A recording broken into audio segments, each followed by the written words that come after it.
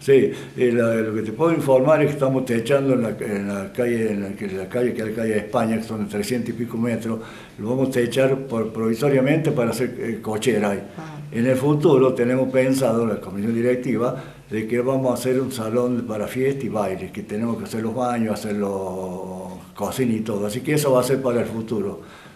Ajá. Eh, ¿Las cocheras eh, cuándo tienen previsto eh, inaugurar? Si Dios quiere para fin de, fin de año. Fin de año. posiblemente. Bueno, eh, Va a ser cochera para alquilar mensual, no son para cocheras que salen, para alquilar mensual. Ah, para alquilar mensual. Bueno, va, va, a comenzar con una obra importante el, año nuevo, la mutual. Sí, sí, Dios quiere, sí. Si Dios quiere va a ser una obra muy buena porque va a haber espacio para 10 o 12 autos ahí. Bueno, y me contaba que el futuro, un salón para fiestas también. Eso va a ser en el futuro, va a ser muy allá muy, muy, muy adelante porque ah, no hay recursos para, para eso. Para esto tenemos recursos ya previstos, pero para lo demás no tenemos nada, tenemos que ir juntando de poquito como hemos hecho hasta ahora. Bueno, eh, primeramente los beneficios de la mutual, que ya lo he dicho en otras oportunidades, eh, servicio de mm, psicología, eso es por PAMI, eh, fisioterapia, eh, masoterapia, mejor dicho, que está a cargo de un fisioterapeuta, también es por PAMI.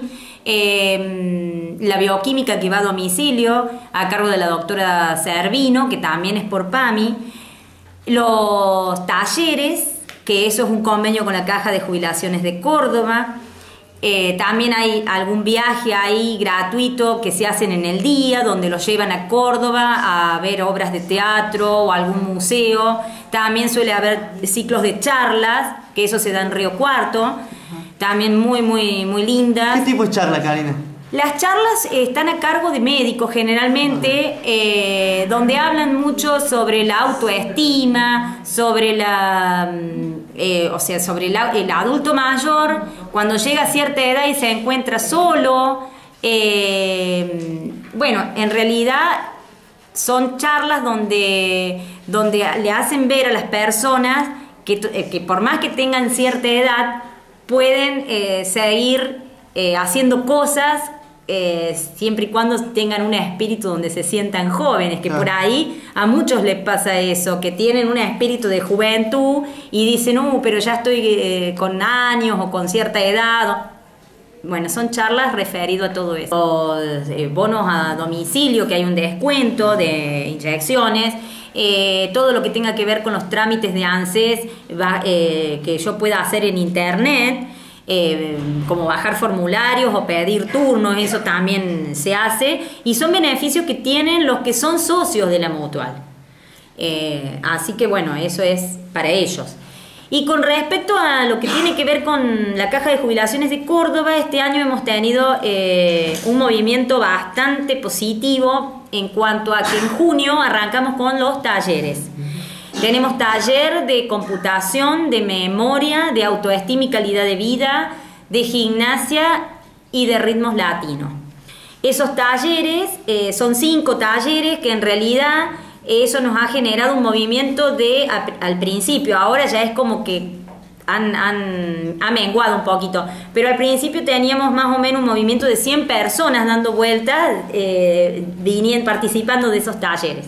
Esos talleres eh, en, el próximo año van a seguir, pero lo que queremos traer es algún otro taller más, como por ejemplo radioteatro y teatro, folclore, y eh, nos gustaría tener también el de literatura siempre y cuando tengamos espacio y, o sea que nos, que nos dé el lugar porque no es fácil para traer tantas cosas. Los talleres estimulan mucho a la persona en cuanto a socializarse eh, porque hay muchos que se sienten solos o que viven solos o que no tienen eh, tantas amistades. Bueno acá es un lugar donde pueden venir compartir y por qué no formar nuevas amistades que está bueno. Está muy bueno. Eh, en, agosto tuvimos la oportunidad de mm, participar en un concurso literario donde cada centro de jubilado podía presentar cinco o seis escritos lo que quisieran. Bueno, aquí se presentaron dos escritos.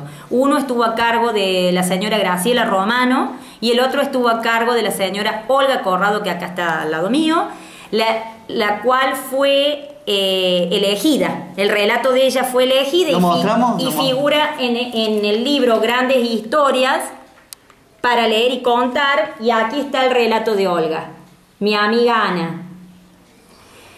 Eh, Lindo, ¿no? Eh, para la mutual y para... para y para ellos. Y para ellos. En realidad es muy lindo para la, para la asociación mutual porque es un logro para, para la entidad y es muy lindo para la gente que viene y participa. Ah, Por eso yo les sugiero a todos los que vienen a los talleres que cuando haya concurso participen más, participen más porque está muy bueno y eso también hace que nos tengan en cuenta. Gracias y me sentí muy bien al salir mencionada y me siento muy cómoda con la Calda Mutual, muy agradecida por todo lo que ellos están haciendo.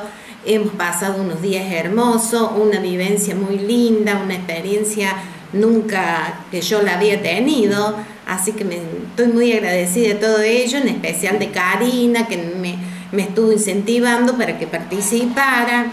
Así que bueno, le agradezco a todos y que sigan adelante con todos sus proyectos. Bueno, eh, no le vamos a contar a la gente, a la audiencia, la historia, que lo compre el libro, sí. Eh, ¿no? sí, por supuesto, fue de un, es una historia media triste de una amiga que yo mm, desde la infancia que me hice y bueno, y hasta el, conté la historia, que bueno, que compren el libro y se enteran cómo fue mi historia. Sí, sí, vamos a dejar que con la incógnita a la, a la, gente. a la audiencia. Bueno, Karina, muchas gracias y gracias por recibirnos, ¿no? Eh, gracias a ustedes y, y bueno, y a, y a, todos ellos que han participado de, lo, de los distintos este, concursos.